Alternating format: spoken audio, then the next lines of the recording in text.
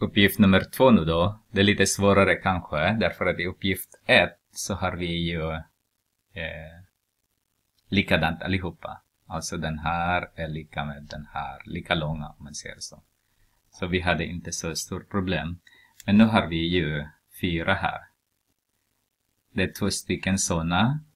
Okej, okay. så om man räknar så nu då. Så. Om jag flyttar den här ditåt så har jag en halv cirkel. Så om jag, har, om jag kallar den här O1 då.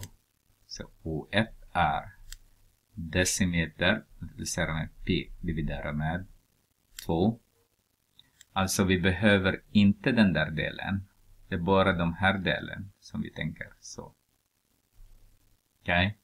Och O2 om vi ska flytta så den här O2 så har vi O2 är lika med decimeter.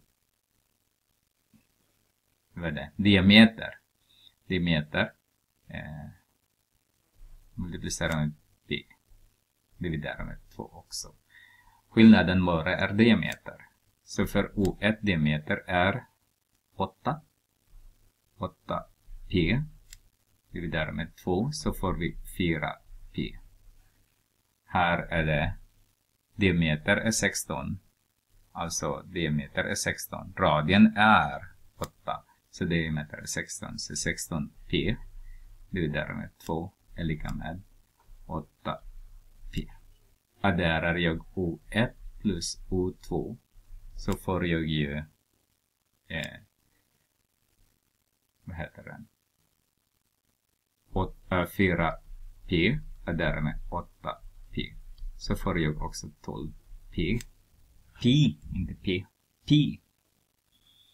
Så, om ni kommer ihåg vad vi gjorde i första då, så har vi 12 pi också. Så om ni tänker nu, den här figur 1 och figur 2, alltså myrans promenad, spelar ingen roll hur det ser ut just nu i den figur 1 och figur 2. Det är exakt samma. 12 pi. Pi!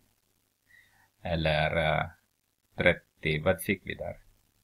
37,7. Exakt samma. Mm?